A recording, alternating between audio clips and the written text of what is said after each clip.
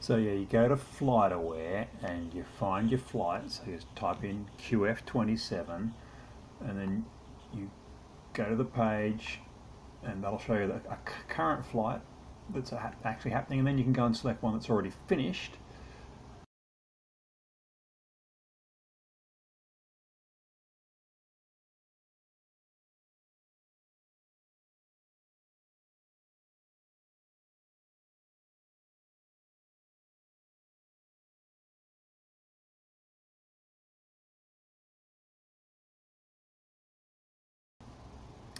and then you go view track log graph. And that brings up all this data on latitude and longitude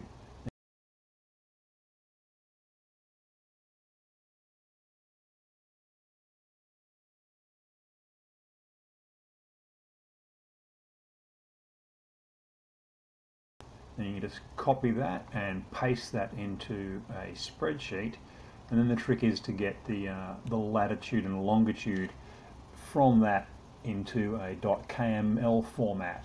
And um, actually you need to switch the latitude and longitude around uh, in, in KLM format. And then you just save that text file as a KLM .klm file and then you import it into Google Earth via uh, file file open. And uh, yeah the uh, the track will appear as a as a white line on Google Earth